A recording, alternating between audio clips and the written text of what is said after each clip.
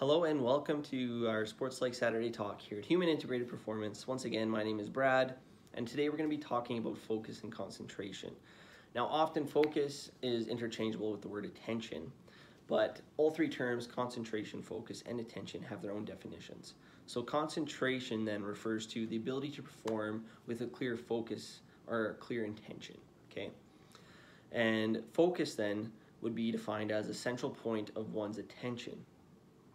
Now, moving on to attention, this is defined as what an individual is observing. What are they paying attention to? Okay, so now we have those three terms defined, and when we put them all together, we can say an individual is properly concentrated when their attention is focused appropriately. Okay, they're, they're focusing on the right things. So that is when a person is, is at optimal concentration. Okay, now concentration, focus, and attention can be broken down into four different categories we have external versus internal and broad, eh, broad versus narrow.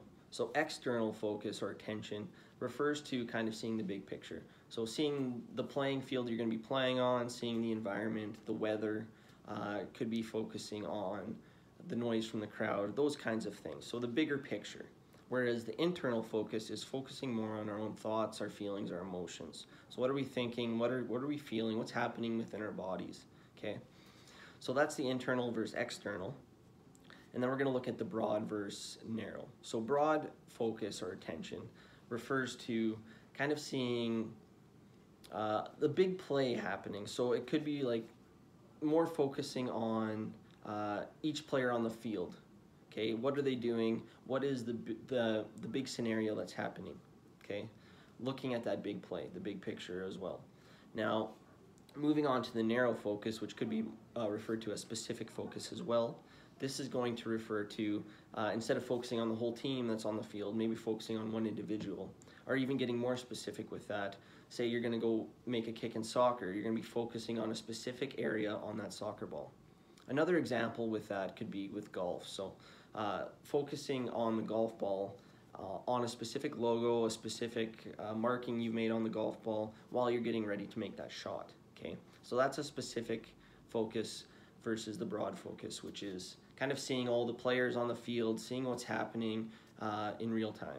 Okay, now in sports psychology, the main goal behind working on concentration, focus, and attention is really trying to remove the interferences or distractions or work up to the point where we're able to identify when we are becoming distracted and shift our focus back to what's important. Okay. Now, this is done in a few different ways. One main thing that we work on here is focusing on the things that are in our control. Because when we get distracted and focused on the things that are out of our control or the uncontrollables, for example, say, uh, as a goalie, I let a let a goal in, and I'm thinking, oh, what's the coach going to think about that? So that's kind of focusing on the things that are out of our control. Where uh, if I shift my focus back to things I can control, it's going to be focusing on making that next save, stopping that next puck, focusing on the play in front of me, uh, getting my head back in the game, so to speak, right? Uh, another thing we can do to help our focus and concentration and, and, get our focus back if we're noticing it's distracted is just a quick visual cue. So for example, myself as a goalie in hockey, uh, something I had written on my glove right here was stay focused. And whether I meant to look at it or not, if I glanced and I saw that, it was just a quick check-in. Okay, am I focusing on the right things? Am I mentally prepared? Is my attention and concentration uh, where it should be, okay? So a visual cue is very helpful in that just for a quick mental check-in. Another easy reminder or a way to look at uh, concentration, attention, and focus is thinking of it as a flashlight. So if you have a flashlight on your forehead, the light out in front of you is going to be your focus. Wherever you're focusing, that's where that light is going to be shining. So going back to the example I just mentioned where, oh, I let that goal in, what's the coach going to be thinking? So in that moment, the flashlight's actually turned towards me and I'm inside my own head, right? So uh, just an easy way to create awareness around concentration and focus is just imagine that flashlight. Where is that flashlight? Do a quick check-in with yourself. Is it focusing or shining on the appropriate things that you want to be concentrating on, okay? And lastly, this is a very important one too, is, is with, with practice, right? So like anything, focus, attention, and concentration and maintaining those requires practice.